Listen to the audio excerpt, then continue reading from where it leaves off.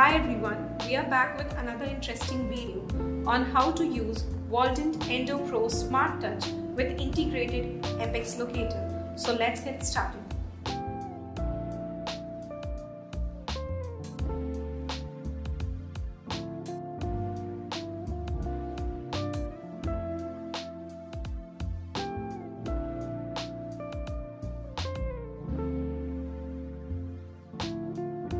For this video, we will be using Waldent Wallflex Gold Rotary files. To start with, we will explore the canal using small sized hand files. We will be using 15 number K file in watch winding motion and will adjust the stopper according to the apex locator reading. We will stop 0.5 mm before the apical foramen.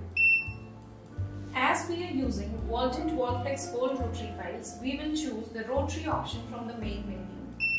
Then we will select the file system which we are using.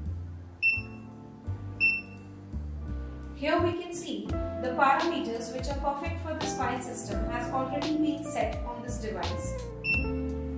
We have set the device in forward rotation mode.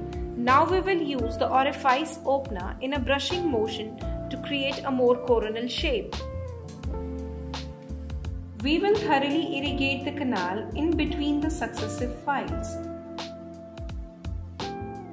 Use glide path file to create a glide path.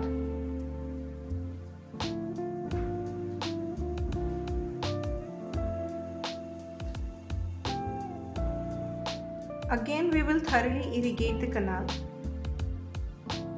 We will again use 15 number K file with which we started our canal preparation to recapitulate. For the next step, we will be using Waldent RCT prep.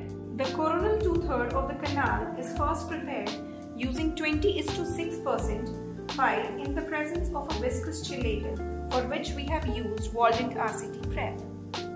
Now we will prepare a apical one-third using 20 is to 4% file and 25 is to 4% file. Please wipe and disinfect the device with an alcohol-based solution after treatment. Lip hook and file clip should be autoclaved. That's all for today's video. Hope you all liked it. Thank you for watching.